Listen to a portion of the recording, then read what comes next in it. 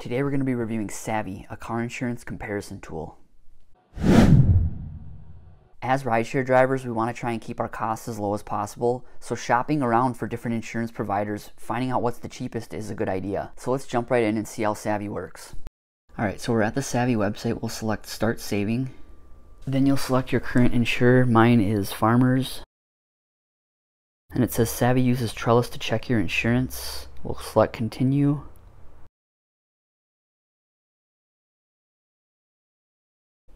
Select Submit. Then you need to confirm the login. Okay, I'm confirmed and now my account is connected to Savvy. We'll select Continue. Checking the policy, it says the process can take 20 to 30 seconds, but some insurers need 2 to 3 minutes. Alright, my policy has been loaded. That's my current monthly cost, which is $135 a month. And I'll fast forward through this process, but it did take about a minute to find the offers.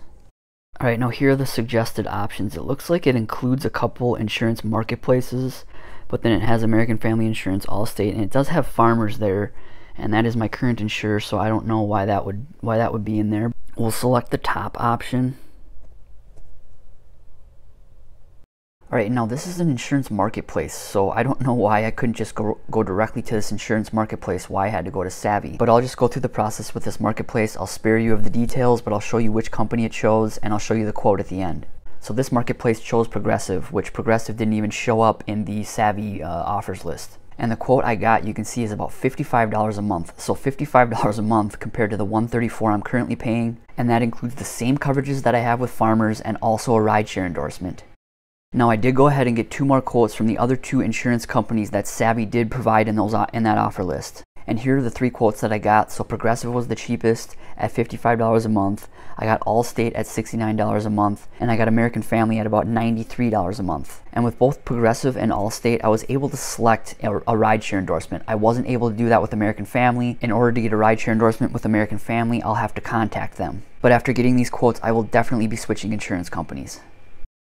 So overall, as far as a review of Savvy, I wasn't really impressed. I mean, yeah, it was easy. The getting those those offers, those five offers was really easy. But I honestly don't even know what Savvy did. Um, I so what I did is I submitted I tried doing it on my phone and my computer. When I did it on my phone, I got the offers with, with the demo that I showed. But then when I did it on my computer, I got five offers from different companies. I don't know, understand what Savvy was doing in the background. Why would I get five different offers both times I tried to use Savvy? Why wouldn't it be the same those same five offers each time if it's shopping for the lowest rates? And plus, when I did it on my phone, three of the top five offers were insurance marketplaces. So why wouldn't I just go directly to those marketplaces rather than using Savvy? Why do I even need to go to Savvy? Now, the one thing this did do for me is it showed me that I can find insurance at cheaper rates than I'm currently paying with farmers, which is a good thing. Every year from now on, I'm going to shop insurers to see which one will offer me the lowest rates. So the one thing I can thank Savvy for is getting me thinking about shopping insurance. I am going to change insurance companies, but using Savvy I don't feel is necessary.